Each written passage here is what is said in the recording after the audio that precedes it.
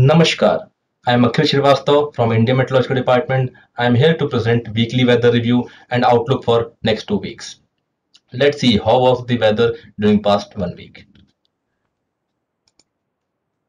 If we see the weather with the help of the climate, with the help of the cloud pattern, the movement of cloud, we can see that the lot of uh, cloud uh, movement activities and different kind of cloud formation was seen over India if we see as a whole, then we can make out that there were majorly two systems or two weather activities which impacted India. One was the very severe cyclone storm Yas, which formed over uh, Bay of Bengal, and other was the southwest monsoon, which further advanced to some more parts of Bay of Bengal during the week. Other than that, we also saw a few western disturbance movement across the northwest India and a few cyclonic circulations and trough developed for short durations over various parts of the country. If we see the left image, which is showing the movement of cloud, we can see a cloud uh, uh, circulation uh, cloud in the circulation form which has formed over Bay of Bengal started moving towards northwest India and you can see this this is the cloud movement uh, cloud formation which is associated with the very severe cyclonic storm Yas and uh, which formed over Bay of Bengal and moved and crossed uh, the Indian landmass, uh, you know, which we will uh, again see in detail in the later slides. In the top, if we see in the northwest India, we see the movement of cloud from west to east direction, which is the move movement due to the western disturbances. Apart from that, we also see some cloud uh, movement and uh, which is due to the different troughs and cyclone circulation which have formed over Indian region due to some for short, short durations.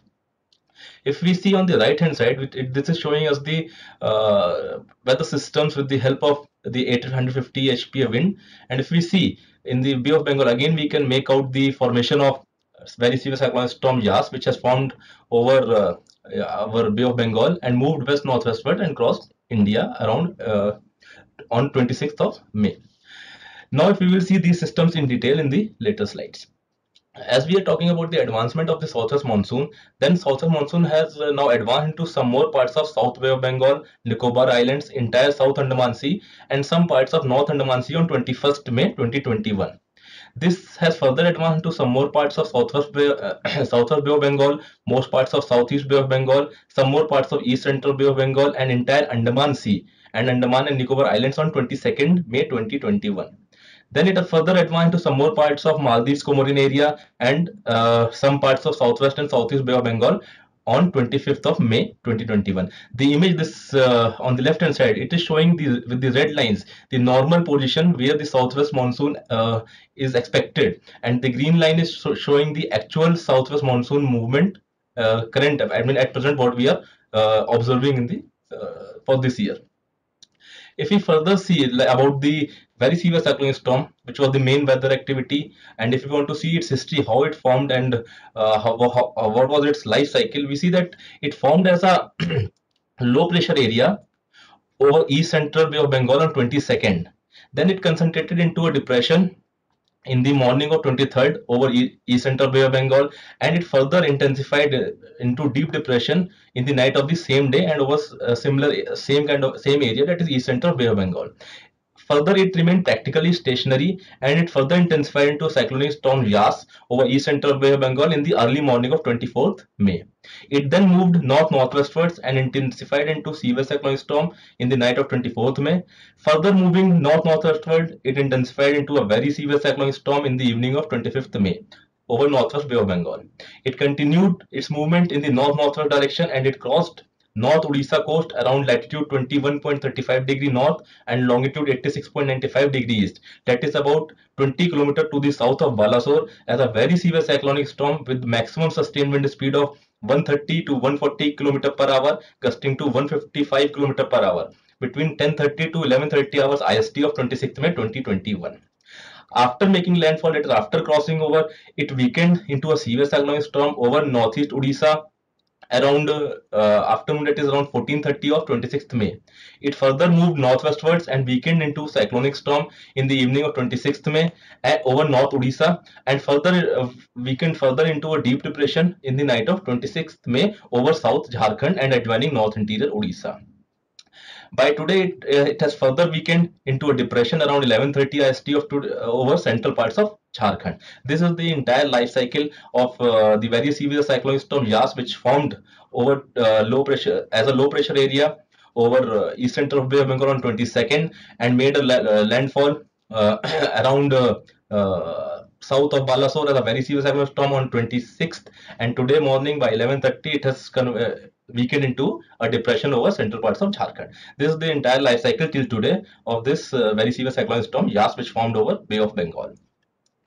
If we see further uh, the uh, uh, the rainfall activity which has happened over the Indian region during the week, we see that the heavy to very heavy rainfall and with and also extremely heavy rainfall at isolated places, it has occurred over Tamil Nadu, Puducherry, Karaikal, Odisha and Uttarakhand during one of the days of the week. If we see the above map, which is showing us the observed rainfall which has been recorded by IMD uh, on various days. So if we see the color with the color the help of colors, the more the reddish color it shows us the more intensity of the rainfall. So if we see towards the Odisha side or around 26 we can see a orange red patch which is showing us the uh, extremely heavy rainfall. And on the other places also we are seeing some blue color which is showing us the heavy to very heavy rainfall activity which has happened.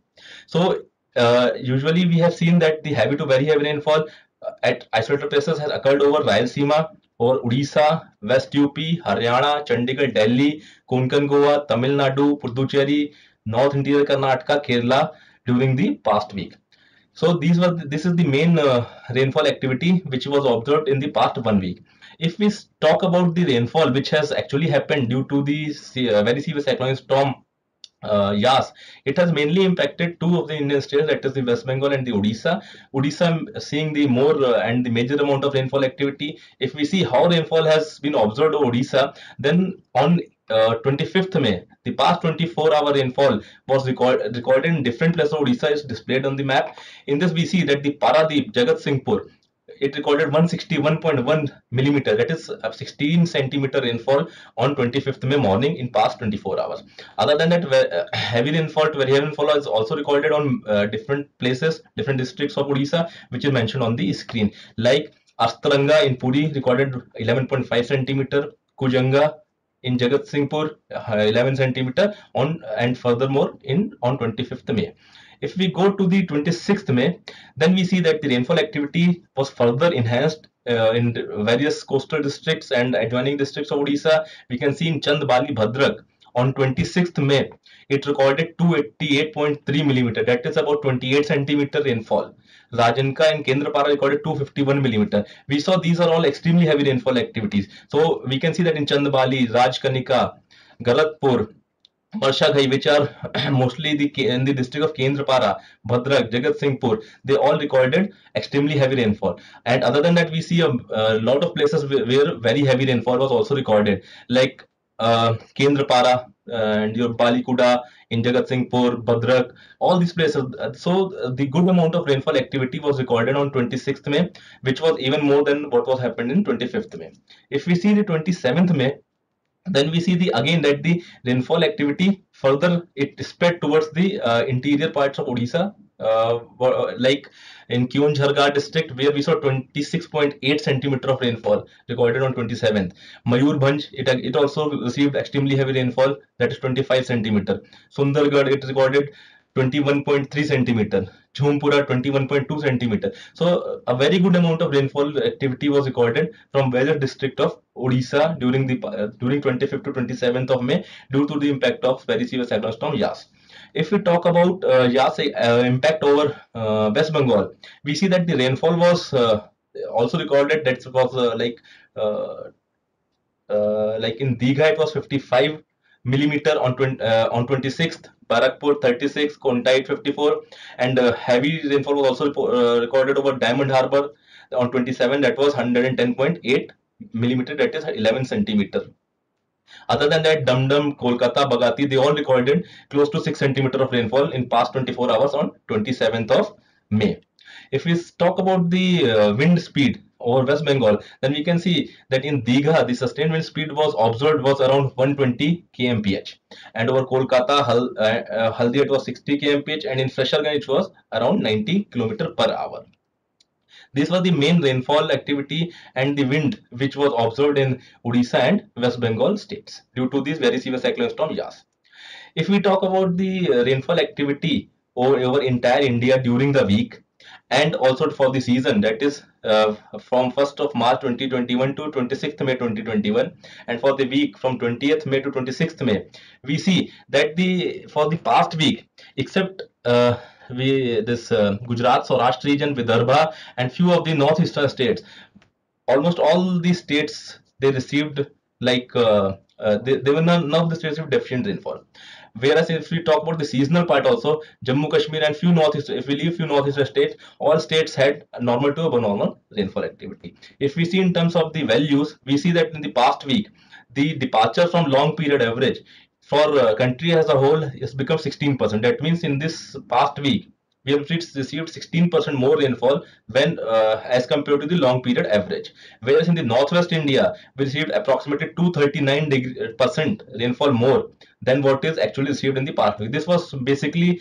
mostly due to the interaction of the Taukte uh, extremely severe cyclone storms remnant, which was interacting with the western disturbance in northwest India, and we see a good rainfall activity in the northwest Indian region in the past week, in the starting uh, half of the past week. In central India also, similar kind of uh, situation was there and we received 146% uh, uh, rainfall more than the long period average. In south peninsular india it was 117% more in east and northeast india it was 16% so this was the rainfall uh, situation in the past week. If we take it uh, and extend it to the entire season that is starting from 1st march to 26th of may we see country as a whole the rainfall activity departure is 12% that means we have we are in the excess of 12 percent uh, than what is expected during this period. So actually we have received 133.8 millimeter of rainfall against 119.8 millimeter which is uh, normally expected expected. If we talk about east and northeast India, still we are lagging behind the normal rainfall, and we are still, as a season as a whole, if we see, we are having a uh, like uh, deficiency of minus 24 percent. We have received till now 257.4 millimeter of rainfall. However, normal rainfall is 338.6 millimeter. In all other areas, we have received uh, more than the normal rainfall activity, with major contribution from central India, where we have uh, about received about 132 percent of the normal rainfall activity. This is the overview of the rainfall which has happened during the past week and season as a whole. Now, if we talk about the temperatures, so the maximum temperatures, if we see on the left panel, it is showing the maximum temperature, central one is the minimum temperature, right side is showing is the mean temperature, whereas the below panel, it shows the anomaly, that is the departure from the normal situation. If we consider the maximum temperature, we see the maximum temperature were below 2 to 6 degrees centigrade over most parts of the country, except some areas over east coast and northwest India. This is particularly for the 26th May and uh, where this temperature was 2 degrees centigrade above normal. And uh, no heat wave was uh, seen over any part of the country during the past week. If we see about the current weather situation that is how is the weather today? That is on 27th may 2021 we can see that the southwest monsoon it has further advanced into some more parts of maldives maldives comorin area southwest and east central bay of bengal most parts of southeast bay of bengal and some parts of west central bay of bengal today morning. And uh, there was a western disturbance as a trough in mid-tropospheric levels which was roughly around uh, longitude of 78 degree east and north of 28 degree north. And another western disturbance was also seen over west afghanistan neighborhood at lower tropospheric levels. And uh, based on the current prevailing situations conditions are likely to become favorable for onset of southwest monsoon over kerala around 31st of may 2021 now talking about the uh, remnant of very severe cyclone storm Yas, that is the deep depression over South Jharkhand. It has moved nearly northwards with a speed of around 9 km and uh, has weakened further into depression around 11.30 hours IST of today, 20, that is 27th May 2021 over central parts of Jharkhand. It is likely to move nearly northwards and again uh, further weaken into well-marked low pressure area during next 12 hours. Uh, if we see the warnings uh, like for the next five days and on my, my right hand side it is showing us the multi-hazard map which is showing us the different warnings for the different some uh, different uh, meteorological subdivisions issued by the IMD so we see that on 27th May heavy to very heavy rainfall with extremely heavy rainfall is uh, very likely at isolated places over Bihar we can see this has been uh, depicted with a red color that Bihar is, is, expected to receive isolated extremely heavy rainfall also. Heavy to very heavy rainfall are also likely over East Uttar Pradesh and your Jharkhand, West Bengal, which are shown with the orange color. So these places are expected to receive heavy to very heavy rainfall with extremely heavy chances over Bihar. And we are also expecting some heavy rainfall activity at isolated places over North Chhattisgarh, Andaman Nicobar Islands, Odisha, Assam Meghalaya, Tamil Nadu, Puducherry, Karaikal, and Kerala and Mahe. on 28th if we see then situation is slightly improved with respect to the intensity of rainfall and heavy to very heavy rainfall at isolated places is still likely over. East UP and Bihar which are shown with the uh, orange color. And other than that we are also expecting heavy rainfall activity at isolated places over Sub-Himalayan West Bengal, Sikkim and Andaman and Nicobar Islands. On 29th we are expecting heavy rainfall activity over Bihar, Andaman Nicobar Islands, Kerala and Mahe on 30th and 31st uh, May, the heavy rainfall activity is likely to shift towards uh, uh, South India and Northeast India. So we are and we are expecting heavy rainfall over Assam and Meghalaya and Kerala and Mahe on 30th, and over West Bengal, Sikkim, Arunachal Pradesh, Assam, Meghalaya, and Tamil Nadu, Puducherry, Karaikal, Kerala, and Mahe on 31st of May. Other than the heavy rainfall activity, we are also expecting squally weather that is where wind speed can reach to from 40 to 50 kmph and gusts can be even more over uh, our east uh, east coast as well as west coast which have been uh, depicted on the images. And we are also expecting some thunderstorm activities over central india uh, on day 27 to 30th may and over south india also on 31st may. So all these uh, warnings are uh, expected during the next five days. And a special care has to be taken in the regions where orange and red warnings are issued where we are expecting some good amount of rainfall and reaching up to extremely heavy over Bihar and very uh, heavy to very heavy over East UP and Bihar and adjoining areas if we talk about uh, rainfall uh, like what we have seen about with the help of the uh, map for the next two weeks. So we see that the left panel on the top side it is showing us the expected rainfall based on the extended range forecast model from 28th may to 3rd of june. And on the right side it is showing us the rainfall from 4th June to 10th June. The below panel is showing us the anomaly with respect to the expected forecasted rainfall.